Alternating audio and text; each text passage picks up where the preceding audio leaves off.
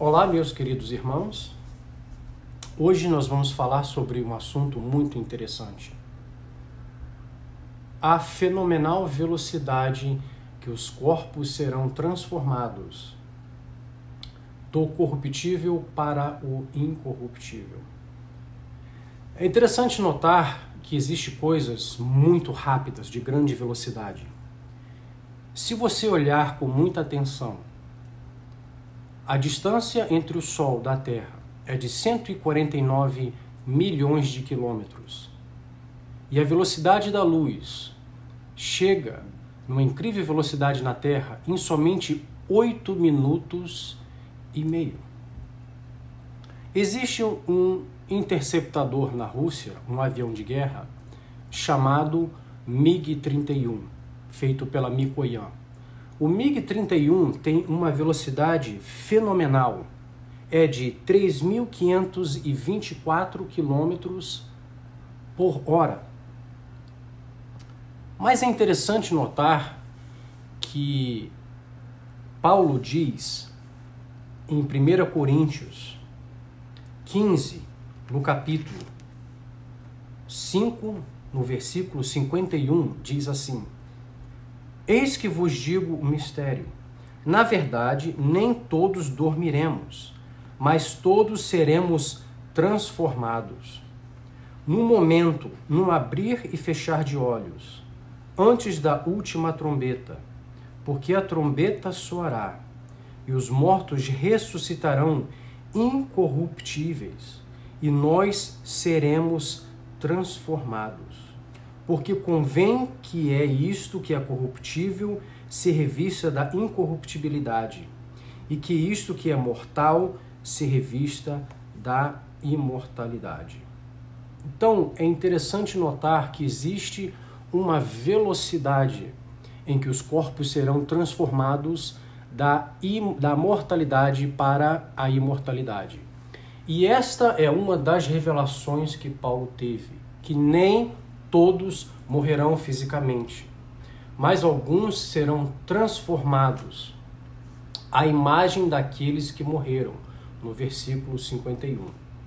Em 1 Tessalonicenses 4, 13 a 17, os vivos serão transformados da mortalidade para imortalidade tão rápido quanto os mortos serão ressuscitados para a imortalidade. E o tempo necessário para isso acontecer é de um momento em um abrir e fechar de olhos. Bom, no grego, essa palavra se chama um átomo. Em um átomo de tempo acontecerá o som da última trombeta, que soar neste momento, ao som da primeira trombeta, os mortos ressuscitariam para a imortalidade ao som da segunda ou última trombeta. Os vivos serão transformados para a imortalidade e alcançarão os mortos para encontrar com o Senhor nos ares. 1 Tessalonicenses 4, 16 e 17. Agora, é interessante notar, se fizermos o cálculo, usando esses valores juntamente, com a constante dielétrica do espaço livre de 8.854 vezes 10 mais 1 mais 2 farad por metro, é possível fazer uma estimativa da velocidade do elétron na órbita circular do átomo de hidrogênio, que é de cerca de 2.188 vezes 10 mais 6 metros por segundo, ou seja, 2.188 quilômetros por segundo. Um raio de luz é uma linha reta ou curva, perpendicular às frentes de ondas da luz. Sua tangente é colinear com o vetor da onda.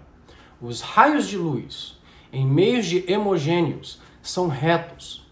Agora, se a velocidade da luz é 299 milhões 792.458 metros por segundo e a velocidade do som é apenas 340,29 metros por segundo, como a audição pode ser mais rápida? Isso é 10 vezes mais rápido do que um abrir e piscar de olhos. Seu cérebro identifica um som 0.0.5 segundos.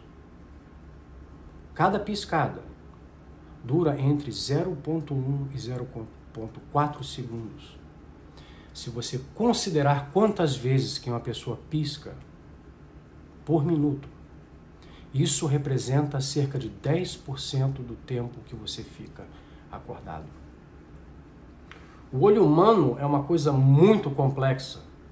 Ele pisca em muito menos tempo do que um segundo. E é perfeitamente possível piscar várias vezes em um segundo.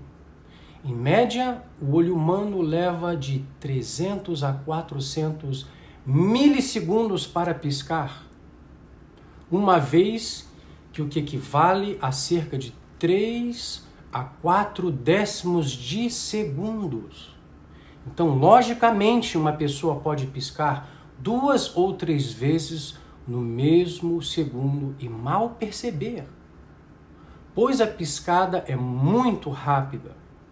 Esses fatores de redução de velocidade ao tempo de 300 a 400 milissegundos é um tempo médio que se pode ser afetado geralmente de forma negativa por uma série de fatores se houver qualquer substância estranha nos olhos, se a pessoa que estiver piscando estiver doente, ou se o olho estiver machucado, a piscada será muito mais lenta.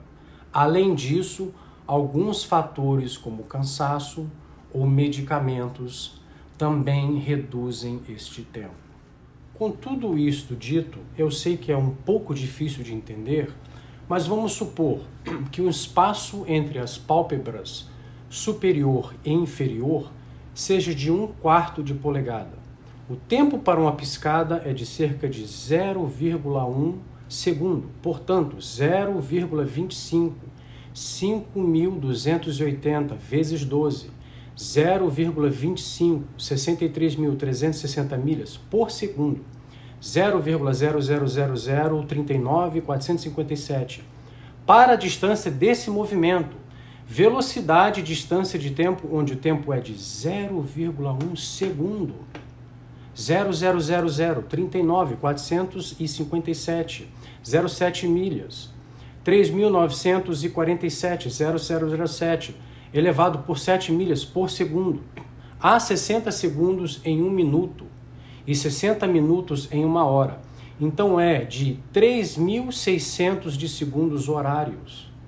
Essa resposta é de 1.442 vezes 10, 3 milhas por hora. Esta é a incrível velocidade que o Deus do universo, o ser mais poderoso que existiu, que existe e existirá por toda a eternidade. Esta incrível velocidade em que os corpos corruptíveis vão para incorruptível e os corpos que estão em suas tumbas serão ressuscitados para a imortalidade. Esta grande velocidade, esta grande rapidez é impressionante o que nosso Senhor Jesus Cristo no arrebatamento da igreja, virá e nos levará para morar com Ele e estar com Ele para sempre. Um grande abraço a todos vocês. Muito obrigado e lembrem-se, estaremos juntos até a morte.